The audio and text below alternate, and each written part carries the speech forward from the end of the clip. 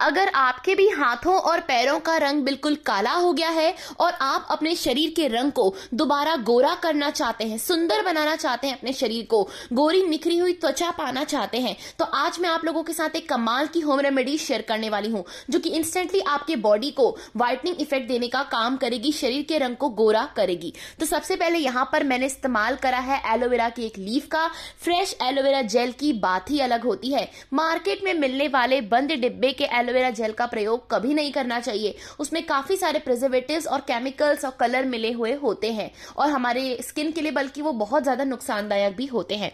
मैंने अपने घर पर एलोवेरा का एक छोटा सा प्लांट लगा कर रखा हुआ है। काफ़ी लो मेंटेनेंस प्लांट होता है ये। तो यहाँ पर मैंने एक फ्रेश एलोवेरा लीफ को अभी अभी अपने पौधे में से तोड़ा है और एलोवेरा की लीफ का हमें यहाँ पर इस्तेमाल करना है।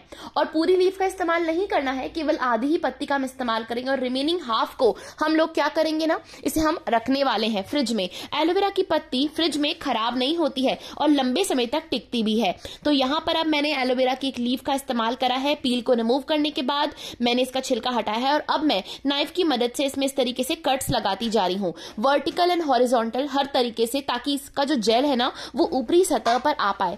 एलोवेरा का जेल हमारी स्किन के लिए किसी वरदान से कम नहीं है। बोथ ऑयली स्किन वाले एंड ड्राई स्किन वाले लोग इसे यूज़ कर सकते हैं। ड्राई स्किन वालों की स्किन को ये डीपली हाइड्रेट करेगा और ड्राई डिहाइड्रेटेड स्किन की समस्या को दूर करेगा। स्किन में मॉइस्चर प्रोवाइड करने का काम करेगा। वहीं दूसरी तरफ़ ऑयली स्किन वालों को भी मॉइस्चर की ज़रूरत होती है। ये हमारे एक्सेस ऑयल प्रोडक्शन को कंट्रोल में रखने का काम करेगा। सीबम प्रोडक्शन को कंट्रोल करेगा, जिससे हमारी स्किन एक्स्ट्रा ऑयली नहीं होगी। तो यहाँ पर मैंने एलोवेरा की लीफ में इस तरीके से कट्स लगाए हैं और अब मैं इसमें कुछ ऐसी चीज़ें डालने वाली हूँ, जो कि इसकी गुणवत्ता को बिल्कुल बढ़ा देंगे। स्किन पर जमी हुई टैनिंग को हटाने के लिए मैं यहाँ पर इस्तेमाल करने वाली हूँ कॉफ़ी का। कॉफ़ी पाउडर को लोग सालों से टैनिंग को रिमूव करने के लिए यूज़ करते आ रहे हैं। शरीर पे जमी हुई कालेपन, गंदगी और मैल की परत को हटाने के लिए कॉफ़ी का इस्तेमाल ज़रूर करिए। यहाँ पर मैंने कॉफ़ी का इस्तेमाल करा है, एक चम्मच भरकर कॉफ़ी का इस्तेमाल करना है और कॉफ़ी का पाउडर जो होता है ना, ये बहुत लाभदायक होता है।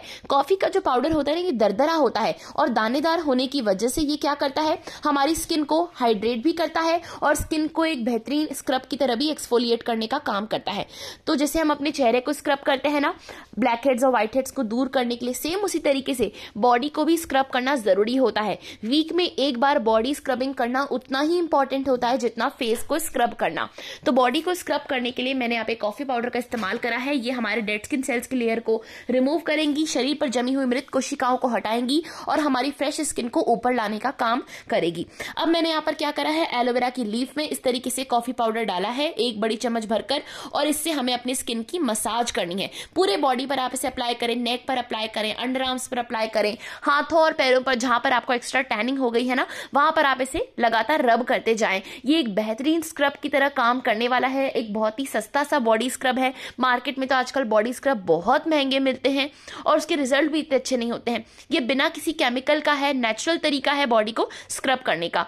तो चलिए, मैं इसे अपने हाथों पर अप्लाई करने वाली हूँ। मेरे हाथों पर काफ़ी ज़्यादा कालापन जमा हो गया है स्पेशली मेरे फिंगर्स के अराउंड नकल्स के अराउंड तो यहाँ पर मैं अब स्क्रब करती जाऊँगी। और जो जेल है ना, एलोवेरा का वो ऊपरी सतह पर आ चुका है क्योंकि हमने नाइफ से इसमें कट लगाए थे। कट्स नहीं लगाएँगे ना तो जेल सूख जाएगा। तो कट्स लगाना बहुत ज़रूरी है। और बीच में जब आपको लगे कि थोड़ा जेल कम हो गया है तो नेल्स की मदद से थोड़ा सा इसे इंसर्ट कर लीजिए ताकि सारा जेल ऊपर आ जाए। और फिर इससे आपको पंद्रह मिनट तक अच्छी तरीके से मसाज करना है, रब करना है। फिफ्टीन मिनट्स बाद इसे आप अपने स्किन पर लगा कर रखें जब तक ये जेल आपकी स्किन पे ड्राई नहीं हो जाता। ये एक हाइड्रेटिंग मास्क की तरह भी एक्ट करने वाला है। और पंद्रह मिनट बाद जब ये सूख जाए अच्छे से आपके स्किन के ऊपर, तब आप ठंडे पानी के नीचे से वॉश कर सकते हैं। वीक में एक या दो बार अपने बॉडी को इस तरीके से आप स्क्रब ज़रूर करें। यह आपकी स्किन के लिए बहुत बेनिफिशियल है। स्किन पर ग्लो लाएगा ब्राइटनिंग इफ़ेक्ट लाएगा और एलोवेरा एंटी एजिंग भी होता है नेचर में। तो हाथों या पैरों पर अगर झुर्रियाँ आ रही हैं नेक पर कहीं पर आपके रिंकल्स आना शुरू हो गए हैं तो ये रिंकल्स को भी एलिमिनेट करने का काम करता है। तो मेरी बात पर यकीन नहीं है तो ट्राई करना तो एक बार बनता है। इस रेमेडी को एक ही बार के इस्तेमाल में जब आप ट्राई करेंगे ना तो आपको कमाल के इसमें रिजल्ट्स देखने को मिलेंगे। आपकी स्किन में बहुत ही अच्छा सा ग्लो आएगा स्किन बिल्कुल हाइड्रेटेड हो जाएगी नरिशमेंट प्रोवाइड होगा। एलोवेरा में सभी ज़रूरी न्यूट्रिएंट्स होते हैं हमारी स्किन के लिए, जो कि स्किन के बैरियर को हील करने का काम करते हैं। अगर आप लोगों को मेरा आज का ये वीडियो अच्छा लगा हो तो जल्दी से मेरे वीडियो को लाइक कर दीजिए। और आपने अगर अभी तक हमारे चैनल को सब्सक्राइब नहीं करा है तो चैनल को सब्सक्राइब ज़रूर करिए। ये कमाल की होम रेमेडी इसे ट्राई ज़रूर करें।